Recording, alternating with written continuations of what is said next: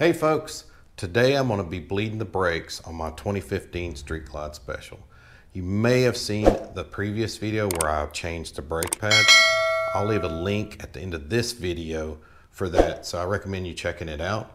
So let's go ahead and prep the bike and we'll get started.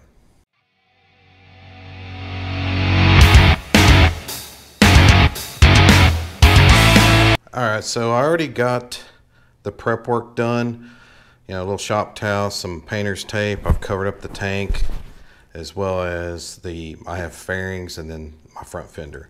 So I'm gonna go ahead and pull this off. I've already unscrewed it. And just try to make sure you don't get the brake fluid anywhere. We'll set that to, to the side and we'll clean that up later. That brake fluid is turned into a tannish color. That's usually a telltale sign but I have a little tool here, test the moisture, and as you can see, it's over 4%.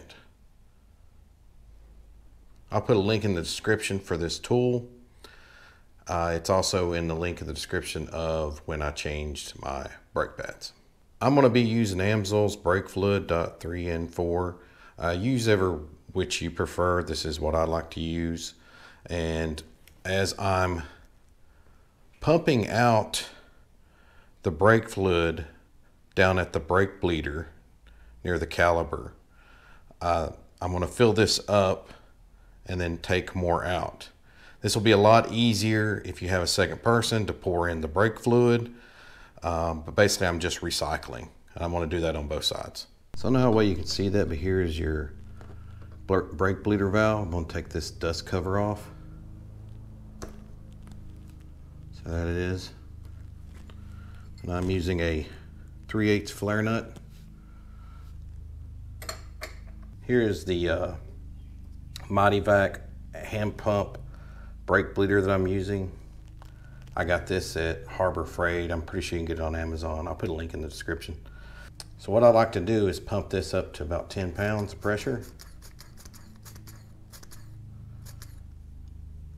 You can always leave little stuff out. Here's a little trigger, and then I'll turn the valve. I'm gonna go ahead and do that now.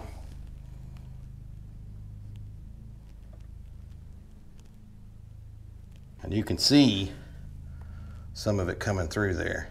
But I have to keep an eye on the master cylinder since I am the only one doing this. I don't have anybody to pour in, in the uh, the brake fluid. So as you can see, it has went down some. It was up here at that line, that fill line, but it has come down some. So I just want to show you exactly what I'm doing. And then you want to pour in a little bit more. So I'm gonna go ahead and do that now. So this is a freshly opened up brake fluid. So I'm gonna bleed some more out and we'll just keep filling, like I said, recycle. I got quite a bit of brake fluid circulating through the brake lines. And you can see the difference here. Uh, this, yeah, this is more of a brownish look. This is more of a cleaner look. I don't know how well you can see that. I'll show a before and after from the master cylinder as well. You probably see it better that way. But again, pump some out, add more to the master, master cylinder, and just recycling it out. I'll do this on the other side, the right side, because there is still um, old brake fluid in the brake lines on the other side, so you won't have to do it as much. So as you can see, the coloration in the brake fluid is much, much better. So I'm gonna go ahead and test it out. It's showing 0% moisture. That's good. Now on to the rear. So before you uh, put the cap back on, you want to clean this diaphragm out. That way it gets out of the, or gets all the uh, old brake, fluid out, cleans it out real well. Let that dry. You know, and just check it for if there's any issues. This one looks pretty darn good. So, we'll, uh, like I said, we'll let that dry and we'll put it back on.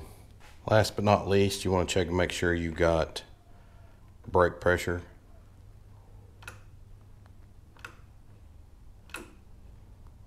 Yep, good to go. So I've taken off the rear master cylinder cap. And again, you can see how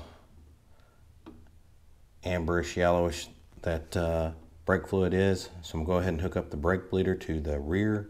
So as you can see, I got the rear brake bleeder valve hooked up here. I'm gonna go ahead and open up the valve.